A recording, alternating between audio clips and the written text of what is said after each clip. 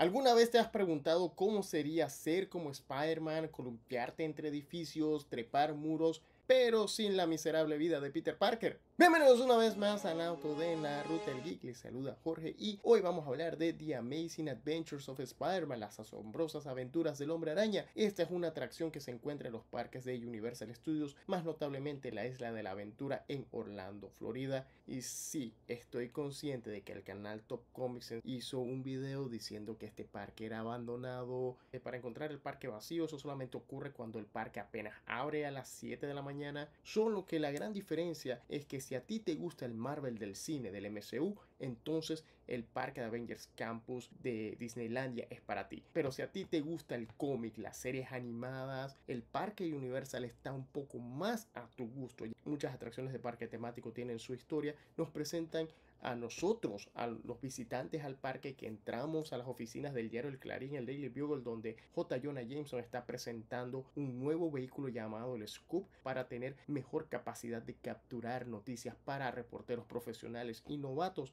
Justo en ese momento, Peter Parker escucha que J. Jonah Jameson va a mandar a los visitantes para que prueben el Scoop en la guarida del Doctor Octopus y su sindicato siniestro que han creado esta arma antigravedad para robarse la Estatua de la Libertad. Esta atracción ha sido galardonada por varios años. Me sorprende también la selección de personajes porque en esta historia del sindicato siniestro del Doc Ock son personajes que por lo general no son tan populares o tal vez nunca vayan a salir en una película de su manera tradicional, con excepción de Electro, pero más que nada se seleccionaron por su capacidad de crear una experiencia de parque, como en el caso de Hydroman, que tiene buenos efectos de agua. Ahora, lo curioso es que muchos de estos personajes fueron seleccionados porque en ese momento que se estaba desarrollando esta atracción, James Cameron estaba tratando de hacer una película de Spider-Man.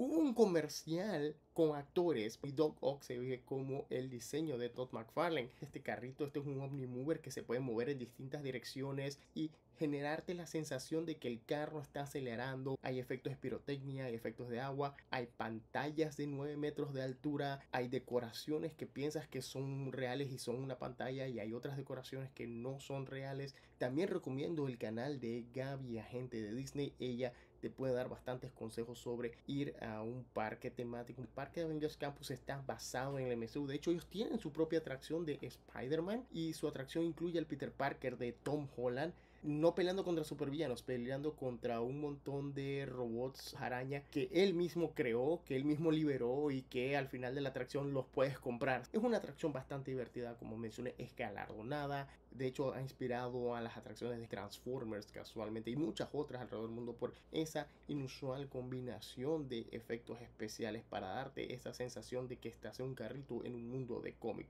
Es una atracción bien recomendable. Muchas gracias por acompañarnos este viaje en la ruta y nos vemos la próxima. Like y subscribe.